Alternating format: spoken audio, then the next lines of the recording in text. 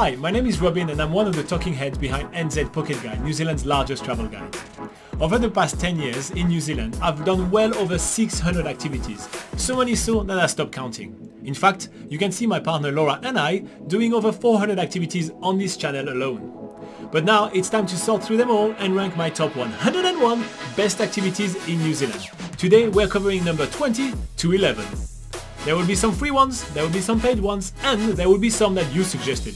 So get busy in the comments telling me your favorites and let's get started. At number 20 we have the luge! You probably have heard of the luge, it's quite iconic in New Zealand and you can do it in Queenstown and in Rotorua. My favorite has to be Rotorua just because the course is a little bit more fun and a little bit more tricky.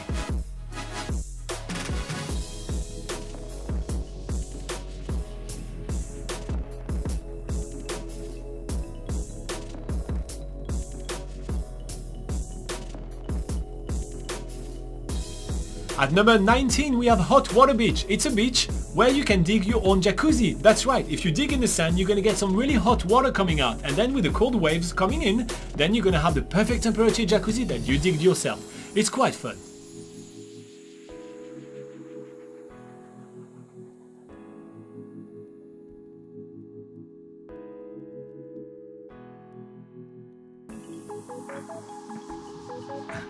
At number 18 we have the TranzAlpine train journey. It's always ranked as one of the most beautiful train journeys in the world and for good reason. It is absolutely stunning. You can catch it from Greymouth or from Christchurch or even from Christchurch and return to Christchurch.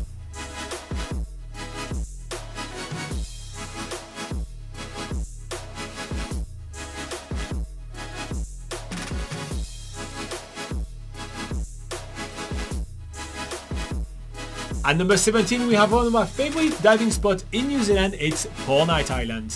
Especially if you get to go to Blue Maomao Arches, which is absolutely stunning.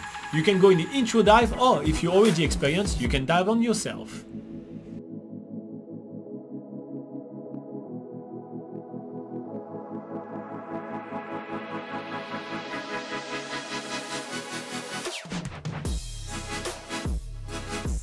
At number 16 we have another icon and yes we are in the top 20 so there is a lot of obvious icons right here but it's kayaking in Abel Tasman National Park. It is an absolute stunner. The beaches are golden, the forests are lush and the waters are crystalline. Do it!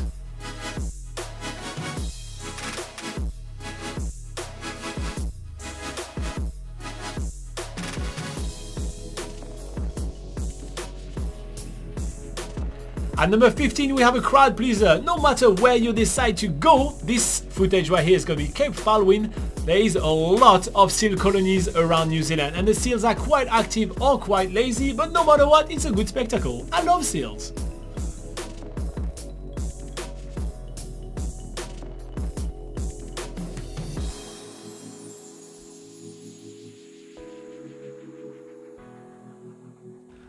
At number 14 we have another icon of traveling in New Zealand, that's right, that's the Tongariro Alpine Crossing.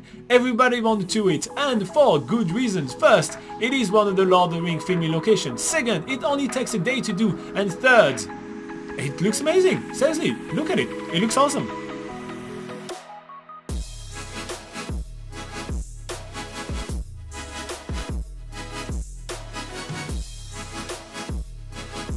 Number 13. Taking a cruise in Milford Sound. If you make a journey to the South Island, there is pretty much no way you are leaving without checking out Milford Sound. While taking a cruise there, it's only taking you about 2 to 3 hours and you'll get to see most of the sound without having to spend too much time there, so you can drive back to Queenstown on the same day.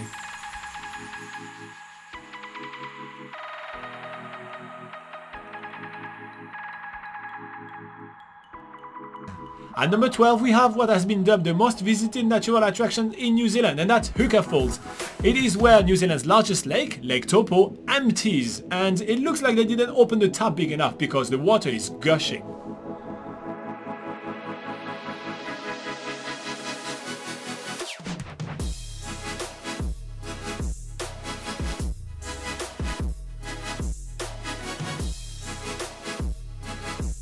At number 11 we have seen the geysers, the bubbling mud and all the other geothermal wonders of New Zealand in the town of Rotorua.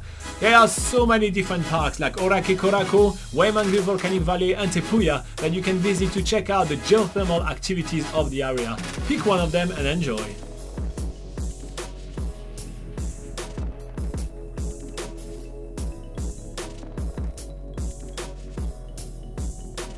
Alright, that's it for me today. Do you guys agree with my picks? There is a link right above my head to the full list with more info on each of the activities if you want to know more.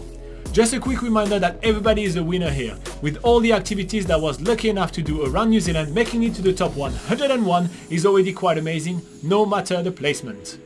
Remember to hit me up in the comments below with your favorite things to do in New Zealand so I can mention you in an upcoming video where I'll be covering all your guys' suggestions. Hit like and subscribe to get notified when that video comes out and have fun exploring New Zealand!